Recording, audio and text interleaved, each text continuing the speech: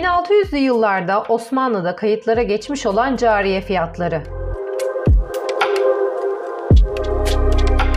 Osmanlı İmparatorluğu'nda fiyat kargaşasının önüne geçmek ve ekonomik dengeyi sağlamak amacıyla gerek ekmek, gerekse eşya konusunda devlet tarafından sabit fiyatlar koyulurdu. Özellikle gelir düzeyi düşük aileler düşünülerek düşük tutulan fiyatlar narh defterlerine kaydedilirdi. Biz de Osmanlı dönemini ve günümüz fiyatlarını değerlendireceğiz. Batılı seyyahların İstanbul topraklarına adımını attıkları ilk anda soluğu aldıkları ilk yerler genellikle esir pazarları olmaktaydı. İstanbul'da Esirhanı ve Haseki gibi bölgelerde esir pazarları kurulduğu bilinirdi. Bunların dışında Kahire, Şam ve Diyarbakır'da büyük esir pazarlarının kurulduğu bölgelerdi.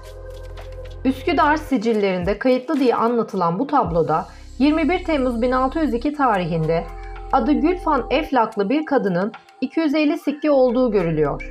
Orta boylu, kara gözlü cariyenin ise fiyatı 16.500 akçe. Bu para ne ifade ediyor peki?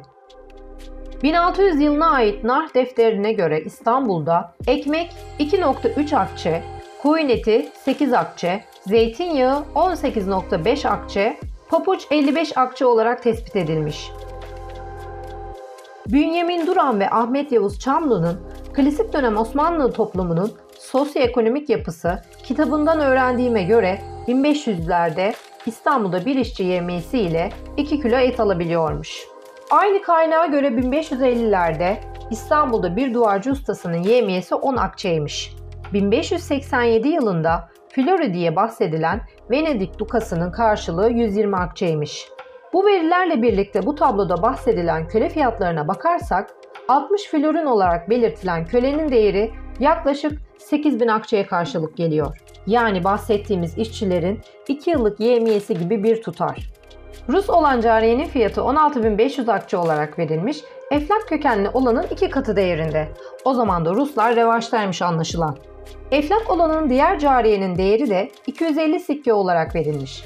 Altın sikkenin duka altınla aynı değerde olduğunu kabul edersek bu kölenin fiyatı da 30 bin akçe gibi görünüyor. Bu hesaplamalarda bir yanlışlık yapmadıysak o dönemde köle sahibi olmak her yiğidin harcı değilmiş gibi görünüyor. Peki bu 16.500 akçe günümüzde ne kadar ediyor? Fikir vermesi için bir akçe 1,15 gram ve 925 ayar gümüş olacak şekilde hesaplarsak 16.500 akçe bugün 200-250 bin TL civarı bir para eder.